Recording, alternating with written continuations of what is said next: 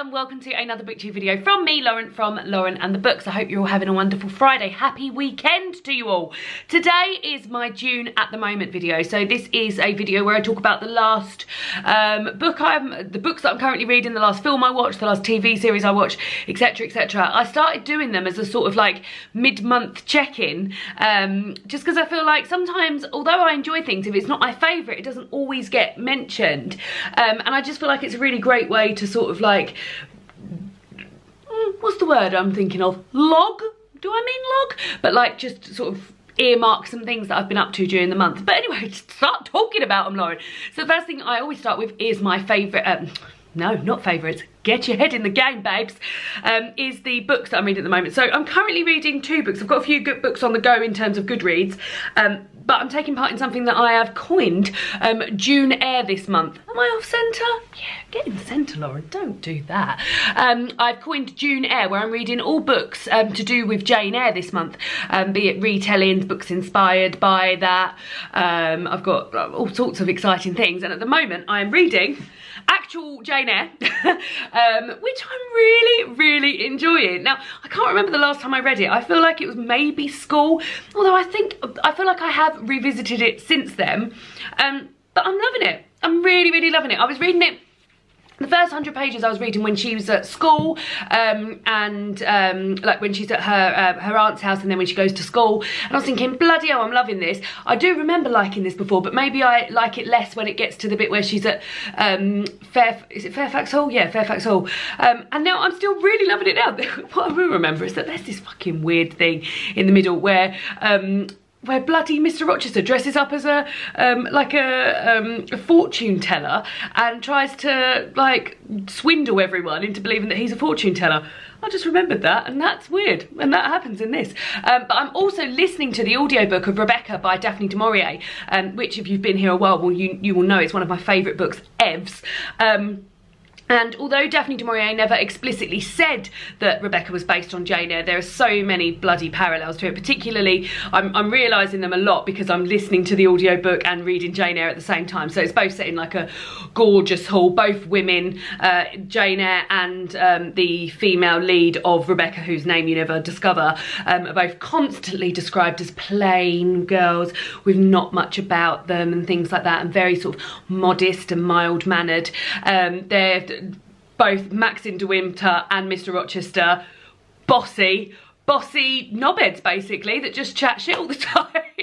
Um, fire is a theme that appears in both, um, and yeah, I'm just uh, I'm just really enjoying reading Jane Eyre and listening to Rebecca, particularly at the same time, because like I'm just getting to see all the all the similarities uh, about them both. But yeah, really really enjoying them. So Re Rebecca is a book that I is one of my favourite books of all time. I always um, give it five stars every time. But the last uh, this time and the time before, I listened to the audiobook of it, and it's a really good audiobook. Anna Massey um, is the narrator of it. Very good. Really really enjoy it. Um, film last film I watched, God, the last film I watched, talking about these things sort of like checking in mid-month um, because they're not always in my favourites. This is definitely going to be my favourites. I watched Knock Down the House on Netflix.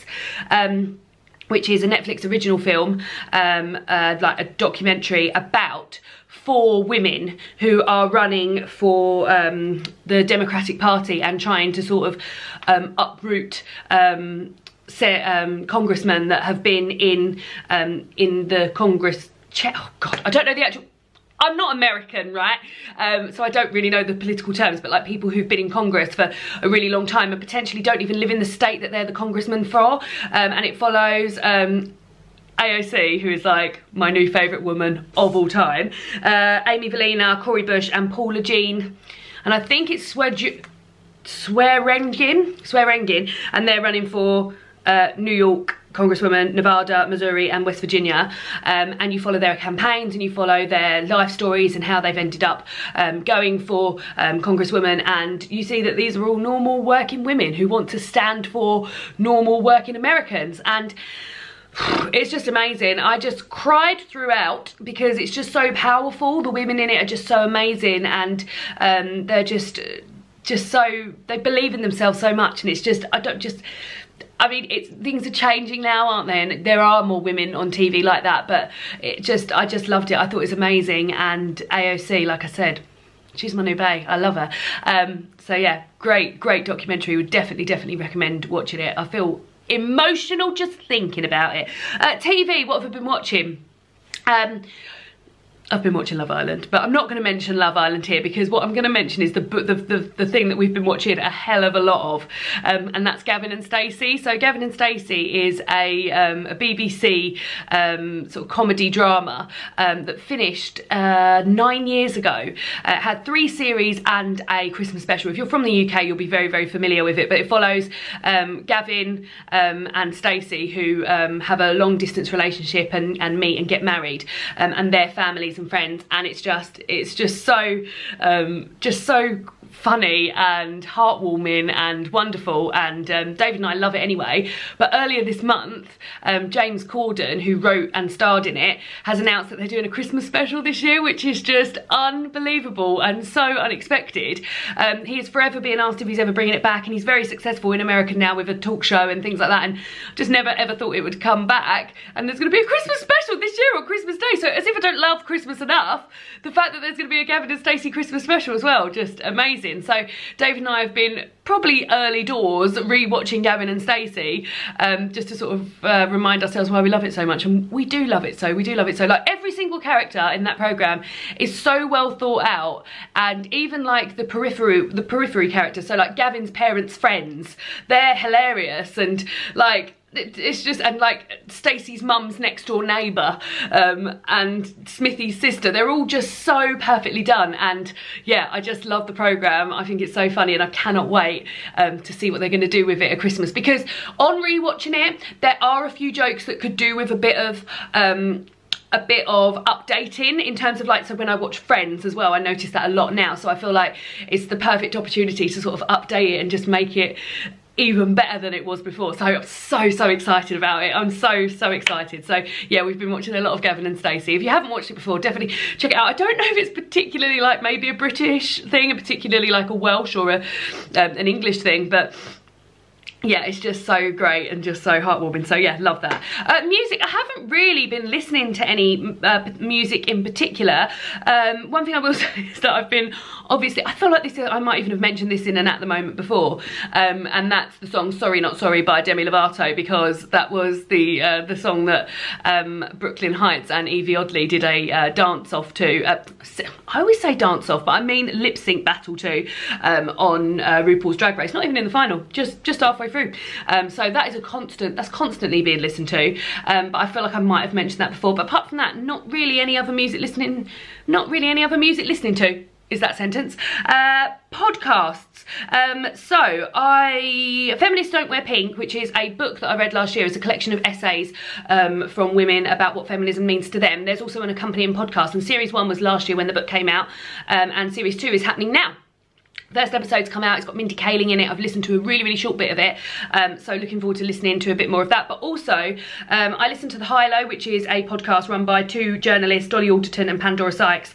Um, and they talk about um, like current affairs and things like that and um, I really really enjoy this podcast I get a lot of um, recommendations from it what I will say is that it is definitely um, on the privilege side of life um, which um, I sort of when when listening to it I, I don't need to remind myself of that because it's very privileged when you're listening to it. Um, but that sort of uh, is a disclaimer. Um, but at the moment what they're talking about um, what what I listened to on my way home from work today actually um, was um, some uh, uh, some interviews between um, women who are talking about not wanting children. You may or may not know but David and I don't want children. And it's sort of addressing like how women um, in their 40s are often seen as failures if they don't have children or like it's the worst thing literally that could happen to them that they have not had children. Um, and uh, it's something that I don't often hear talked about. And actually when D Dave and I have known for quite some time that we don't want children. I won't go into too much detail about it now um, because maybe I'll make a video about it I don't know. Um, but people always used to say to me, oh, you'll change your mind, you'll change your mind. Um, and I always used to think, I probably won't, but like I used to keep quiet for their sake. Um, and also, um, people would sort of think I potentially couldn't have children and that's why I was saying it um, and these sort of issues were being addressed um, and it was just a bit eye-opening for me to hear women like who think the same as me um, because I feel like I have always the way I was brought up is that, oh, you grow up, get married and have babies. Um, and potentially I don't feel like I ever really felt like I wanted to be a mother. Um, I feel like that was definitely realised um, much later in life. Like I'd go as far as to say like in the last sort of five years, I've definitely realised that that was an option for me. I didn't even know that there was an option um, that I didn't have to be a mother, if that makes sense.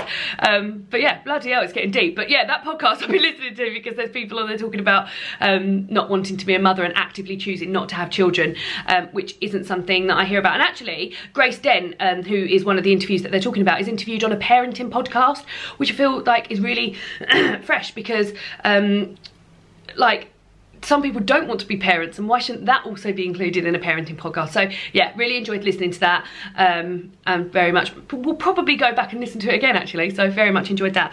Uh, and then in terms of YouTube the la uh, so I've been watching um, on YouTube. Actually I've got three things to mention for YouTube because two things that have happened like very recently that I can't ignore but also something else I've really been enjoying on YouTube. So um, Little Mix, the band, are currently on their on their YouTube channel doing um, Come Dine With Me at each other's houses.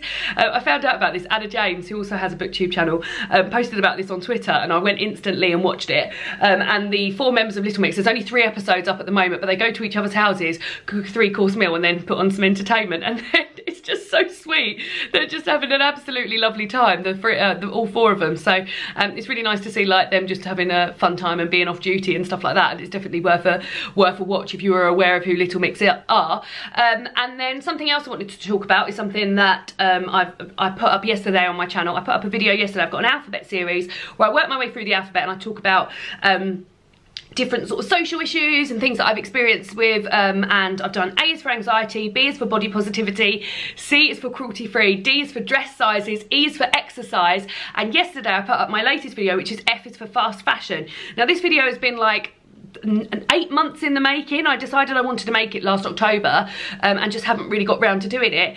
Um, and I've made it and I'm really, really pleased with it. There's um, it, It's sort of split into three sections where I talk about what fast fashion is, um, my shopping habits and how I've changed them, and then um, things that I've bought secondhand and how I've styled my wardrobe and things like that to, to factor them in. Um, I will link it down below. If you haven't watched it already, then it would be wonderful if you would go and watch it. It's not book related, but I'm really, really proud of it and I'm so pleased that I finally got around to making it. So yeah, I'll link that down below. And then the last thing, which is literally the last YouTube video that I've watched, um, I uh, was watching, whose channel was it? Oh, the Book Castles channel, who I love, I love Alice from the Book Castle, and she recommended um, an ASMR channel. Now, I'm, I don't go for ASMR, it doesn't really do anything for me, um, but this one is a Harry Potter um, themed ASMR channel. I will link the link down below.